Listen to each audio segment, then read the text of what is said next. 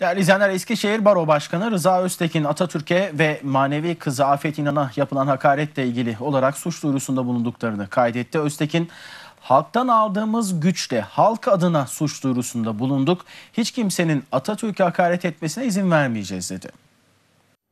Eskişehir Barosu avukatları adliye binası önünde bir araya gelerek bir televizyon kanalında Ulu Önder Mustafa Kemal Atatürk'e ve manevi kızına yapılan hakaret ve iftiralardan dolayı suç duyurusunda bulunduklarını açıkladı.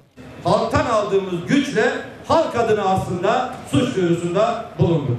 Avukatlar adına açıklamalarda bulunan Baro Başkanı Rıza Öztekin, Cumhuriyet Başsavcılığına iki tane suç duyurusunda bulunduklarını vurguladı.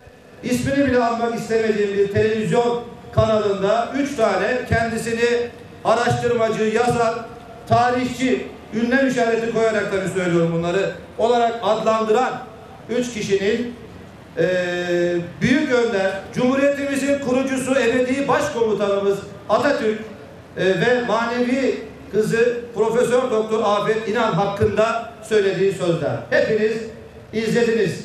Eee tabii e, basın yoluyla bu konuda özel bir yasa var 56-18 sayılı yasamız basın yoluyla alenen hakaret suçunu işlettiler.